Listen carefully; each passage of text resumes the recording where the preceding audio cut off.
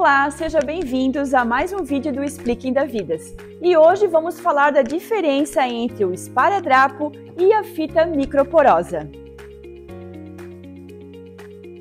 O esparadrapo geralmente é feito de tecido ou algodão com uma camada extra mais forte adesiva.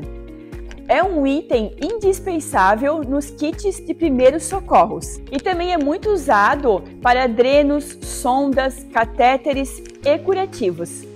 Sua adesão é bastante firme, o que pode causar desconforto ao ser removido, especialmente em áreas sensíveis ou com pelos. Por isso, o esparadrapo não é o mais indicado para colar na pele, e sim para colar em curativos, bandagens, entre outros. Se você precisar colar o esparadrapo na pele, utilize um removedor para tirar, que assim vai facilitar e você não terá tanta dor. O esparadrapo permite que a pele respire, tem boa proteção e resistente à água e é super flexível. Os esparadrapos contêm látex e outros não. Então, se você começar a perceber alergias, suspenda imediatamente o uso. Existem várias marcas de esparadrapo e também tamanhos diferentes. Aqui na Indavigas você vai encontrar da marca Misner. Fita microporosa. Possui alta porosidade, permitindo assim a respiração da pele. Ela é super discreta e oferece maior liberdade de movimentos. É extra fina e de excelente fixação.